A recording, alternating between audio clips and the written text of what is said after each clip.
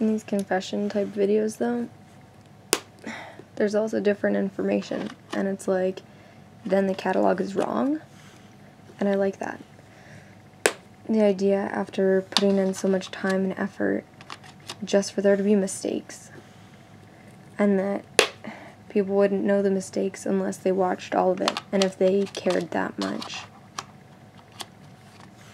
Like how I have two of these boxes.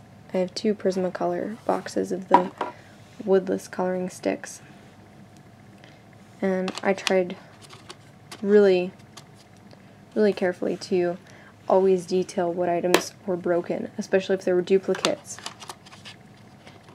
And now these boxes are different. Now parts of them are broken. But people won't know that unless they watch this.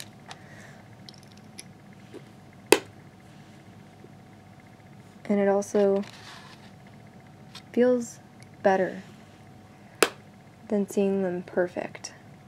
It feels like if they're already damaged, I can still use them. I can do something with them. They don't have to stay in their packaging.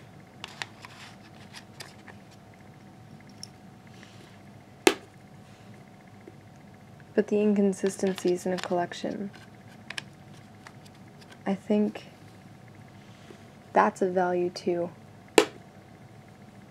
If the collection is like the person, if it says something about us, then it should have inconsistencies and it should be different in different forms in photographs and in real life and within the catalog and within the videos and what all those things are like.